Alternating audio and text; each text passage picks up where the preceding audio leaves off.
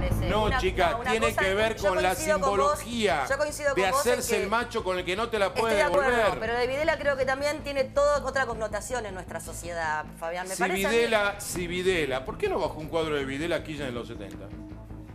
Porque no te- Pero claro. porque no podía, Ah, porque... porque no Sí, podía, ¿cómo no podía? ¿Dónde iba ¿Y por qué hubo gente que lo No, hizo en los poder. 70?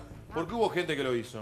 No, nadie bajó ningún ¿Cómo cuadro. que no? Estás haciendo una discusión No, que no, no, tiene ¿cuántas habeas corpus? O sea, No. Nadie bajó ningún cuadro en los 70, de ¿Cuántos nada. Ningún corpus presentó Kirchner por cuántos desaparecidos? Tío, está- estás Ah, mezclando los no, símbolos. no, lo simbólico no, es... tiene que ver con esto, tiene que ver con actos heroicos de costo cero. Si yo bajo un cuadro de Cristina en este momento, pago ningún Pero hablar costo. mal de Mirta tampoco es tan heroico o hablar mal de ¿Y Susana por qué no se es habla tan mal? heroico. ¿Y Yo hablo no mal de todo mal? el mundo, yo hablo mal de Susana y mal de Mirta medios. también. y ¿Por qué los medios de comunicación no hablan mal de Mirta o de Susana?